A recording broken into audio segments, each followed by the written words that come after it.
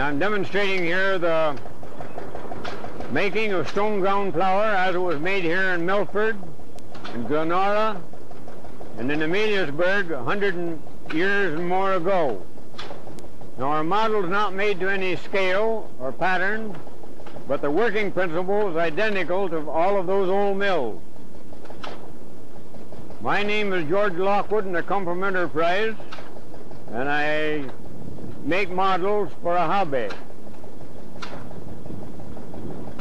The first stone grinding flour mills in the area was built at Appanee Falls, now Napanee, in 1778 to grind flour for the Loyalists of Prince Edward and Lennox counties. The buildings were always a building of three floors. This was an essential. They were usually made of stones that carried a lot of weight, and they were usually driven by water. The one in my village was an exception. It was a hundred years later, and it was driven by steam. In the very early days, the wheat was sometimes carried on a loyalist back to the mill, later, of course, by oxen and horses.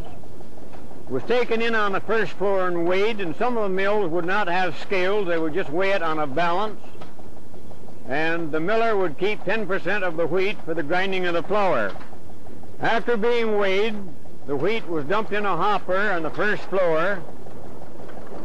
An elevator would take it to the very top of the building where it was returned to a storage bin on the third floor. We see it coming in the glass here. From the storage bin, the wheat went to the smutter. This was the cleaning device. The sieve taking out the large particles, the fans blowing out the dust and dirt, and the screens removing the weed seeds and the shrunken kernels.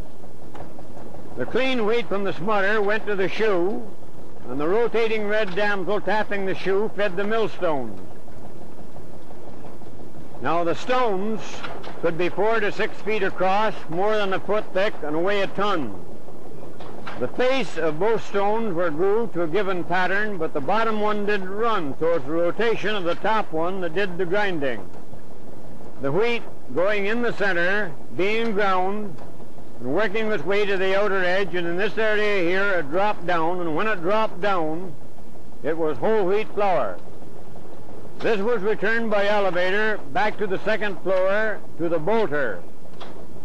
Bolting was a separation of the various products into flour, middlings, which were was coarse ground flour, shorts, which was fine ground bran, and also the bran, which was the hull of the kernel, very light in weight and very high in protein. The products we end up with is, is flour.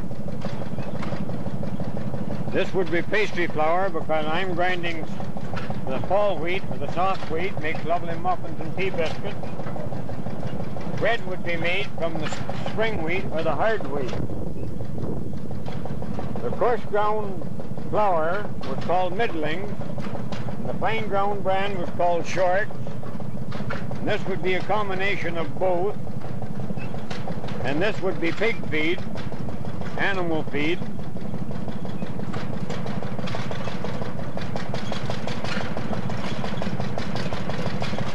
Coarse bran the very outside hull off the kernel, very light in weight, but very high in protein, was fed wet or dry, and any farm animal would eat it.